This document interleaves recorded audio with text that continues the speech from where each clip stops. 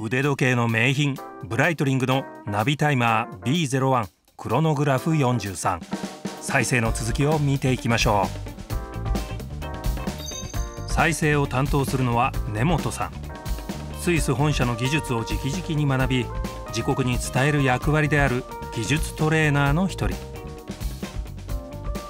まず最初に注油をしていきます。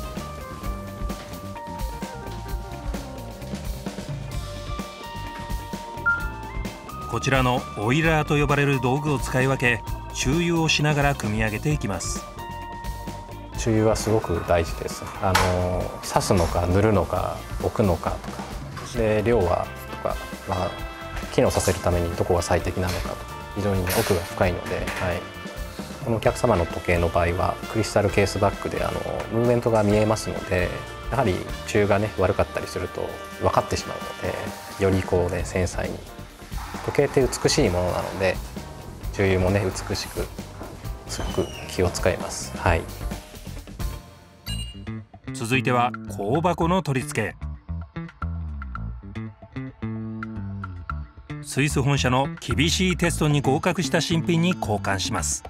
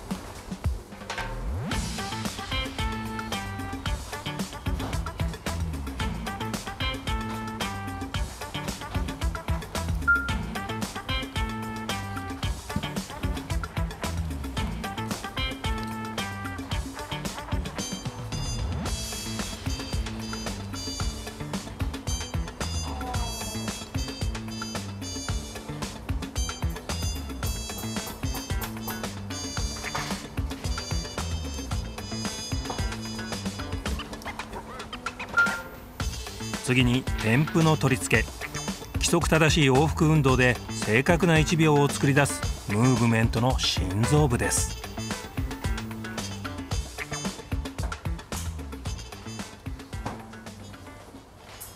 時計の精度を確認しておきます。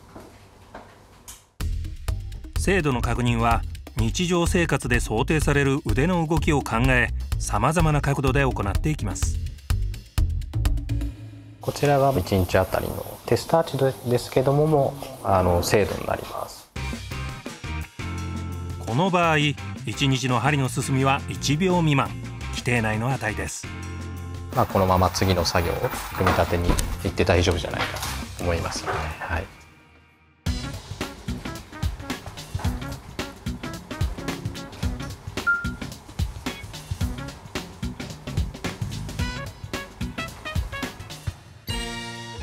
続いて交換するのは巻き上げ車。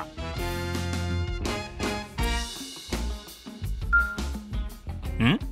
新しい方は色が違いますね。あの実はあの、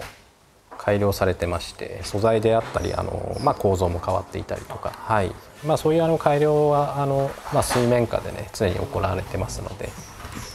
まあ、絶え間ない進化っていうのもブライトリングの魅力の一つですので常にそういうアップデートをしている、はい、何製から何製になった？と言ってもいいものなんですか？これは企業秘密です、はい、ですよね。常に進化を続ける。これがブライトリングなんですね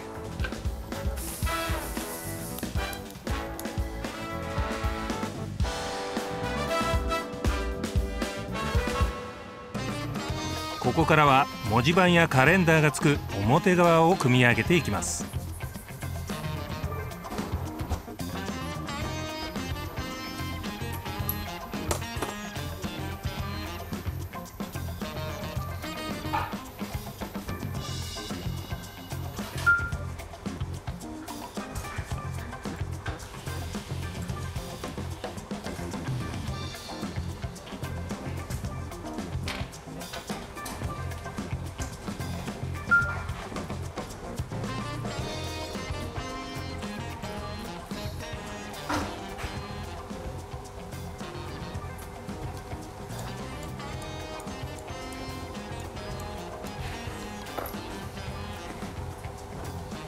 針を取り付けていきます。針はあの新品の針に交換します。ブライトニングはあのクロノグラフをあの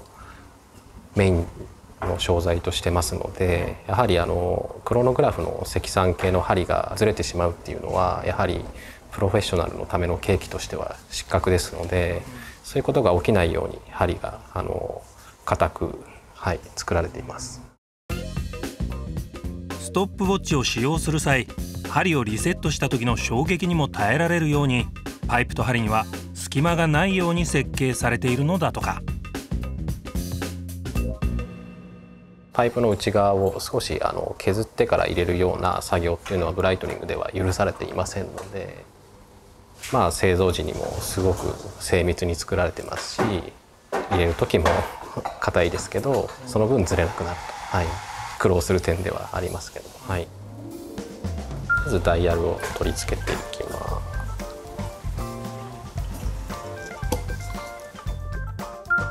ここからいよいよ針を入れる工程。機械台と呼ばれる台座に乗せ作業していきます。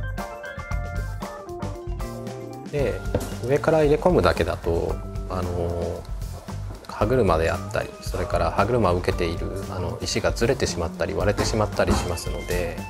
それが起きないようにあの機械台のサポートをまず合わせていきます。下からもあのサポートして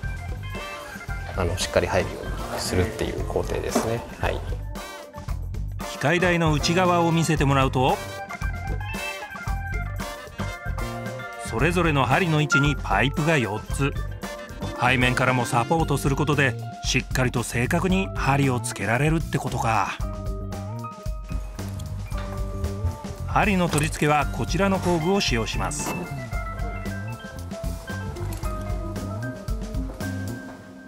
この裏側から見るとこの穴の大きさが違ってましてそれであの使い分けています。あの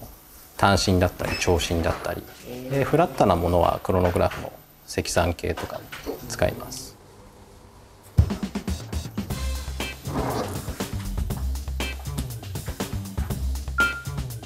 まずはこちらの小さい針から取り付けていきます。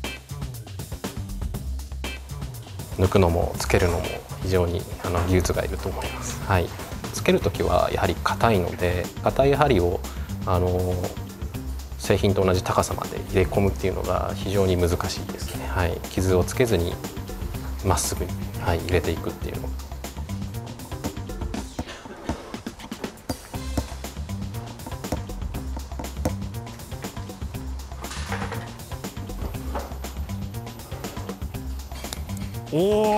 リセットボタンでしっかりと針が戻ってくる。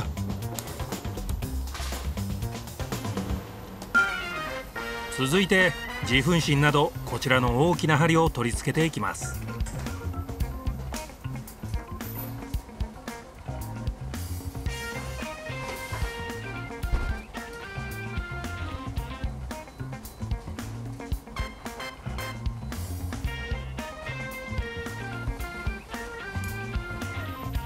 すべての針が取り付けられました。次は干渉しないようにこの針を平行にしていく作業。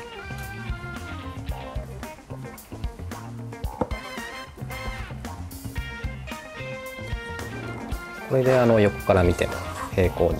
はい、綺麗に平行になってる。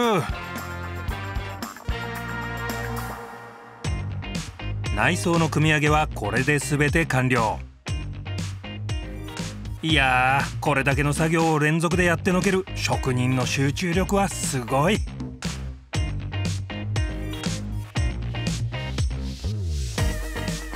しかし完成はまだまだ先。外装のパーツはポリッシャーと呼ばれる磨き専門の担当へ渡されます。なかなか見られない外装の磨き。楽しみだな。担当するのは職人歴15年の小川さん。でまずはですね磨く前に下準備をしなければならないのでその下準備をしてから実際に研磨という作業になります。はい。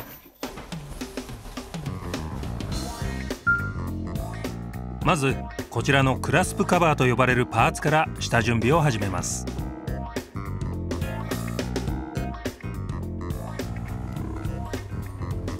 これを貼ることによってポリスの作業中に梨地の部分が光るのを防いでくれます。梨地とは表面にザラザラとした質感を施したもので脂肪加工やマット仕上げとも言われます。こちらを磨いてしまわないようにマスキングしておきます。あとはこの部分にですね液体のマスク剤を塗っていきたいと思います刻印にはマスク剤と呼ばれる薬品を塗るそう。どういう効果があるのでしょうか？この数字の中にあの研磨剤が入ってしまうとそれだけでも、えーと、光ってしまうのでその光るのを防止するために、えーと、これをマスク剤を塗っています。時間を置けば置くほどだんだんだんだん硬くなるのでそういう点ではとても重宝するマスク剤です。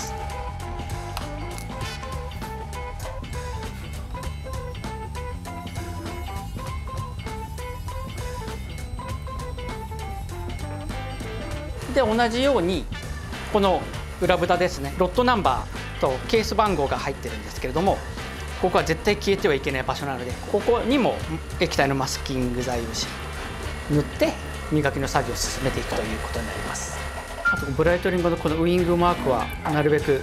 削りたくないので光らせたくないのでこれにも塗っていきます。ここであの下準備が終了しましたのでこれから実際この機械を使って磨いていきたいと思います。フェルトバフというものがあります。これを設置して回転させることによって回転させるものにケースをですね当てていってで磨いていくという作業です。でこのフェルトにはあの硬さがいろいろありまして磨く場所によって普通のもので少し硬いもの2種類あのここでは使い分けて、えっと、作業していきます。でどういったもので削削れていくかというとフェルトでは何も削れないのでこういう研磨剤をつけていきます。これはよく削れる研磨剤ででこちらはあの磨き光沢を出すという工程で使っていきます。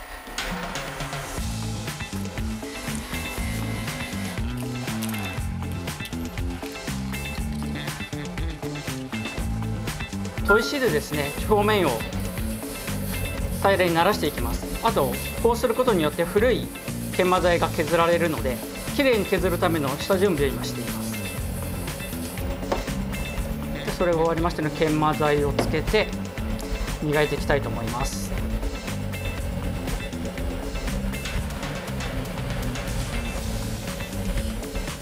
あのかなり 傷が ついていますね。こういうふうにいろんな方向から当ていくことによって傷が早く消えますし綺麗に仕上がります。あれ？手前の機械にも当ててるけど何か違いがあるのかな？そっちに行く時はこういうふうにあの黒い研磨剤がついてしまっていてでこのあのどれだけ傷が取れたかをちょっと確認ができないのでこちらはあのワイシャツの生地のようなものを何枚も重ねているような柔らかい生地なのであのちょっとあの軽く当ててでバフコを飛ばして確認をする作業のために当てています。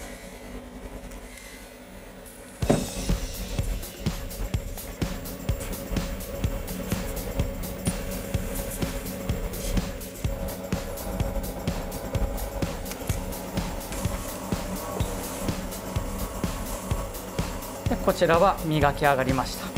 これぐらいムラなく光沢が出ていればこれが磨き上がりですね。はい。いやーほんと新品みたいな輝き。お見事。